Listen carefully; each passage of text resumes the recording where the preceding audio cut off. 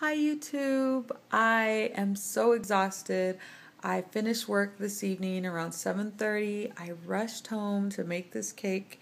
It's a sea turtle Mother's Day cake that I have to take back to work tomorrow morning at 6 o'clock in the morning. So I am just so tired, but I wanted to make this video and show you guys this creation. I just think it's so adorable. It's the first Mother's Day cake I've officially gotten. Obviously, the sea turtle shells are the cakes. Excuse me, the cakes inside are banana, no, I'm sorry, tropical wedding cake. And it's a tropical take on a banana cake. And the filling is cream cheese buttercream, which is delicious. It goes so well together.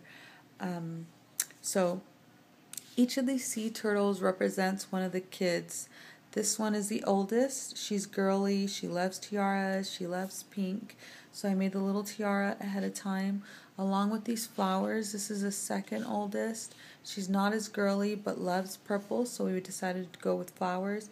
And the baby boy, he wears an LA hat all the time. So I went ahead and made this in advance along with all the other little um, additions to the cake. Um, I baked the cakes ahead of time. I even made the sea flippers um, ahead of time and covered it with some green fondant and some petal dust to give it dimension and it all came together. Um, I added some pebbles. Hopefully you could get a good idea of the cake.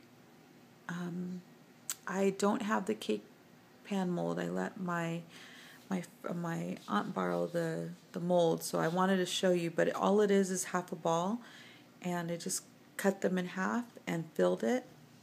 And this is what I came up with. So hopefully you guys like this cake.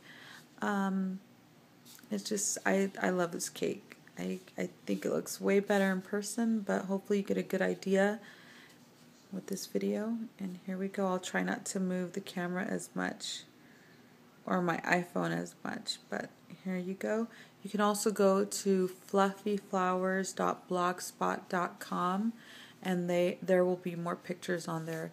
And it's fluffy F L U F F Y flours F L O U R S dot blogspot.com.